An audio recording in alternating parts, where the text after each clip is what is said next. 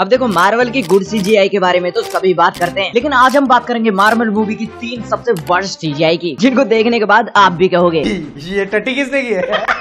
Number three floating head in Thor loving thunder loving thunder का ये scene तो आपको याद ही होगा। नहीं मतलब मार्वल वालों ने बी वाले के पैसे काट लिए थे क्या? जो वो उड़ती हुई मुंडी हवा में छोड़ के चला गया। थिएटर वाले वर्जन में तो ये बकवास लगी रहा था। लेकिन डिजनी प्लस पर आने के बाद भी कुछ खास नहीं लगा। Number two black video black video की पूरी मूवी में सिर्फ़ एक पर्टिकुलर सीन था, जिसे देखकर एक नॉन बी आर्टिस्ट भी बता देगा कि इसकी ग्रीन स्क्रीन भी ढंग से रिमूव नहीं हुई है। ऊपर से सराउंडिंग भी। मॉडल के साथ प्रॉपर तरीके से ब्लेंड नहीं हुआ है। इन शॉर्ट काम अनफिनिश्ड है। और नंबर वन पर आती है सी हल ये सीरीज़ मार्वल फैंस के बीच में बातचीत का कारण इसलिए बनी क्योंकि इस सीरीज़ के लीड करेक्टर सी हल्के का सीजीआई 2001 के सिलेक्ट का लग रहा था। सेम इसी शो में अगर आप हल्के के सीजीआई को देखो तो वो एकदम टॉप नोच है। अगर दूसरी तरफ़ सी हल्के पर ध्यान दो तो ऐसा लगता है की इन्वायरमेंट के साथ ब्लैंड ही नहीं हुई। बट क्या सी हल्के का सीजीआई इतना ज़्यादा बुरा था? या फिर ये सिर्फ़ एक मित है?